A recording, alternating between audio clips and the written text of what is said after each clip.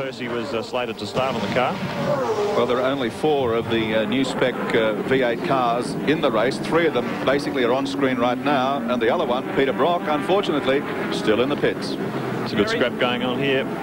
Glenn Seton in the Falcon, dueling with the HRT Commodore Thomas Mezera. And on the subject of Brock, here's John Brady. Yes, thanks very much, Gary. Uh, Peter, a far from perfect start. You just let the clutch out and crunch.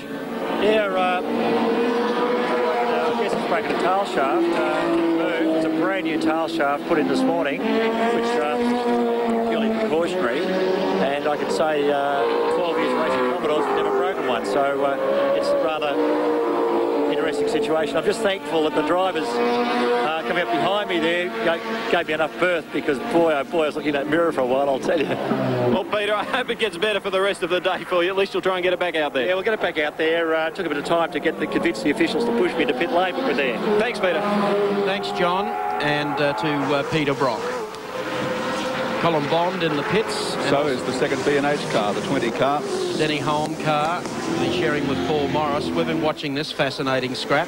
It involves Larry Perkins, who's running in fifth, of course. It's an unscheduled stop from car 20 for this battle. Win Percy on the move. Car 16 overtaken car 15 with Thomas Mezera at the wheel. And the new 93 specification Falcon locked in between them. And just ahead of this bunch, Larry Perkins. So the V8 settling down into some sort of a race pace at the moment. And the turbocharged cars for outright speed, certainly with a big advantage up here today. Over the top of Castrol, magnificent shot there as they come down through the dipper. And that's the order we're following, the 5th, 6th, 7th and 8th. And I think on the back of the V8 Brigade is the second Works Nissan of Crompton and Anders Olsen, running at a more conservative pace than number one, obviously. That car moving up all the time they're up to ninth position now. So, as they come down the straight, we go to the pits. And the Colin Bond car in, unscheduled stop, the hood is up. Consulting with Colin, not a lot happening there. This is a disappointment for Colin. This is a brand new car, built specially for Bathurst. Johnny Brady's on the spot. Yes, mate, they've uh, got a bit of trouble here with the engine. They just haven't sussed quite what it is. As you say, brand new car built just for this race. They've had the shell around for a while. It's only three months old, and not good sign already. They're starting to go into spark plugs there. I don't know if the, uh, they've got a head gasket problem. These cars used to have trouble. They've got oil pressure problem at the moment, and uh, that's surging pressure for them, which is not a good sign in one of these at all. We're just trying to get inside the head there and see if they've got leakage in there, I would imagine But uh, for Colin Bond. Brand new car and not a good start. Thank you, John. Denny Hulme has rejoined the race in 40th place in the Benson and Hedges BMW. And Win Percy has uh, taken Larry Perkins and moved up a spot. Yes, so it's now Win Percy who has moved to fifth in the race. Perkins is sixth. Glenn Seton is seventh. Thomas Mezera is eighth. This is good early race form from the 16 car. It was a brand new shell built after the unfortunate accident at Sandown in qualifying. They've had a lot of trouble getting the suspension set up right on the car during the week, but uh, I was talking to John Harvey just last night, and he said uh, both Win and Alan are happy with the race setup. So the race setup's all you've got to worry about here. Oh, Larry locking one up on the way in. Maybe, uh, yes, he was able to protect that spot. Seton looked for an inside as Larry locked the tyre up. Ahead to Toohey's turn at the top of the mountain. And I guess you're going to find that fine balance between wanting to race and wanting to survive and be around at about 4.17 this afternoon. Perkins will have no problem with that. Second uh, Winfield Nissan GTR with um, Anders Olofsson, Neil Crompton. It's sitting in behind the second HRT Commodore here of uh, Thomas Mezera.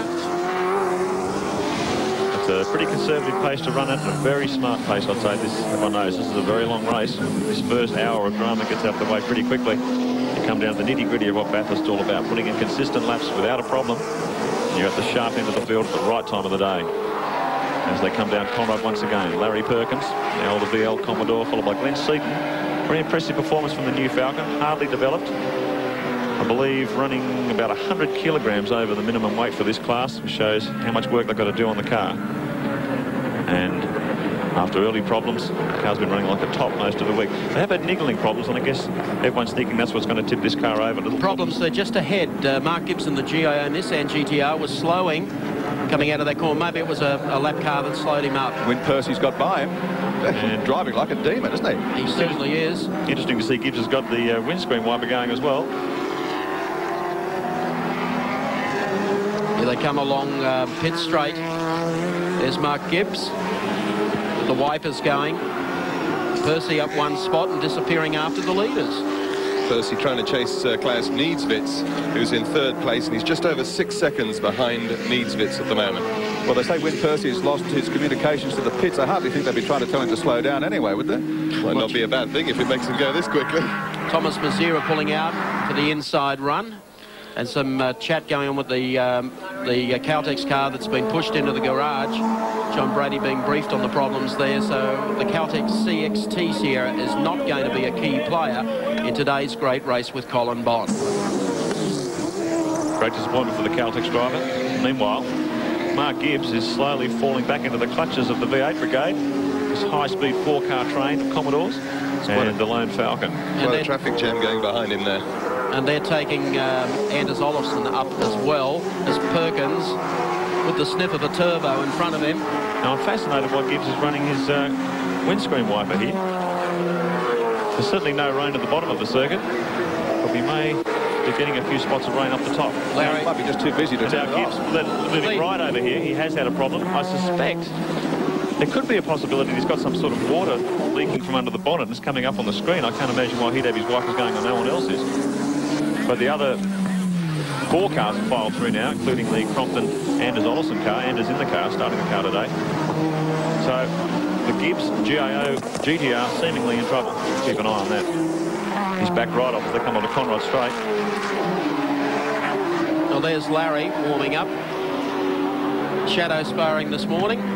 He's off and running down the outside. Under our camera on Conrod Straight. The Nissan gradually moving up to the field. So we'll have to keep an eye on Gibbs Onslow, who would appear to have some sort of problem there. The car slowing quite dramatically on that lap. We'll see whether Mark Gibbs takes it into the pits this time. Or is going to hang out there. I'd say he's staying. No, he's out there with the wiper going. So he's just dropped back a little.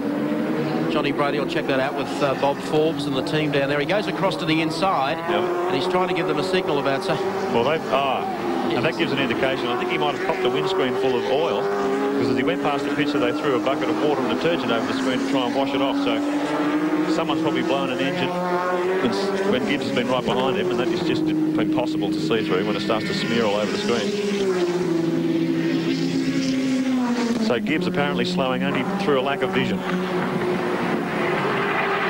So the GIO car steps back to the blunt end of the top 10. co-sponsored by Windscreens O'Brien. He's given uh, his, his sponsor a bit of a plug on the way through. They poured cold water over it the way past the pits last time.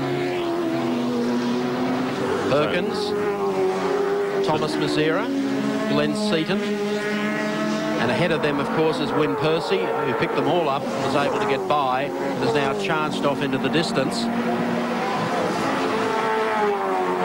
So in this opening half an hour of the Tooheys 1000 for 1992, the V8's fairly evenly matched. Larry Perkins obviously adopting the right sort of pace for this first hour.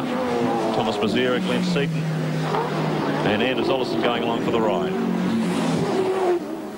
Larry gets a little bit sideways as he's coming down through the dip. He's working hard. As they barrel down the mountain once again. Come out of uh, Mazda Forest Elbow again. We'll be following this scrap. Let's take our Caltex race score. They've completed 10. Richards and Skaife mark at the wheel at the moment in the Winfield Nissan GTR, leading over Dickie Johnson and John Bowe. Next is Niedzwiedz and Hansford. They're up to third. Percy and Grice to fourth. Fifth is Gibbs and Onslow. They're all on the same lap. It just means that the leader's gone across.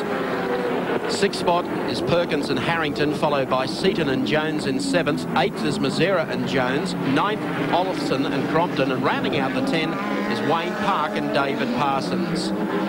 That's the order here in the Great Race at Mount Panorama Bath. The Great Race, the 30th anniversary edition. Lap 13 of 161. A long way to go. Checking Anders Olofsson making uh, some inroads here in the second of the Winfield Nissan GTRs. Larry Perkins been passed there, and I notice David Parsons coming up very smartly indeed in the um, Peter Jackson Sierra, also making some ground. Now, Win Percy is really grinding away. He's got some tremendous race pace, even on the full tank. He's up to fourth position. He's closing on Klaus Niedzwiedz. The last point, he was two seconds behind, and he's closing that gap all the time. So he may have a turnaround in the top three with the inclusion of one of the new 93 spec Commodores. Meanwhile, the uh, Nissan boys, there's pretty activity in the Nissan pits with both the GIO crew and Freddie Gibson's crew looking like they're getting ready for a pit stop this early in the race. Well, up front, Mark Skaife continues to lead the great race. I'll let him get through the next, next little section here down to Mazda Forest Elbow. Left-hander coming up. The exit to there. Now Subaru straight. 15 grand in the hand this morning after yesterday's efforts. And you're looking good, Dick Johnson. Yep, how you doing? Good, son. How's it feel? Great? Yeah, it's pretty good, Mike. We're just sort of cruising on about the pace we want to go. I would have liked to have tried to put a bit more pressure on the Nissans, but uh, that's one of them things. Obviously, I actually I might give John Keefe or John Large a ring shortly and see if they want to put another 100 kilos on him at the next stop. Don't do that to them, for goodness sake.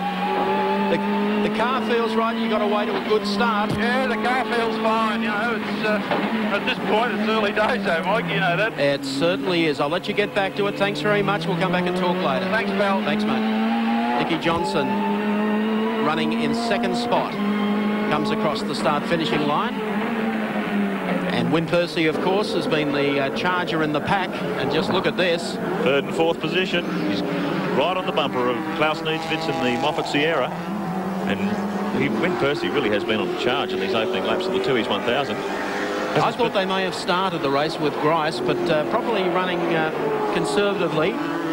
They know that Grice can wring its neck if it's needed later in the day, and it's capable of that that happening. Win's doing a pretty good job. He hasn't had a lot of time in the car this year. He hasn't done any racing, I think, when he since he went back to uh, to England at the end of last year after the Touring Car Championship. Here comes the uh, GIO Nissan GTR. Just to fill you in, the officials uh, told the uh, crew a while ago they weren't allowed to uh, keep throwing uh, water all over the uh, the fence or the wall.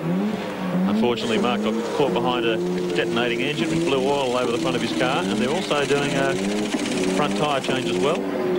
Hydraulic guns hammering away on the wheel nuts. They've been in there for just on 20 seconds. They're trying to do it again.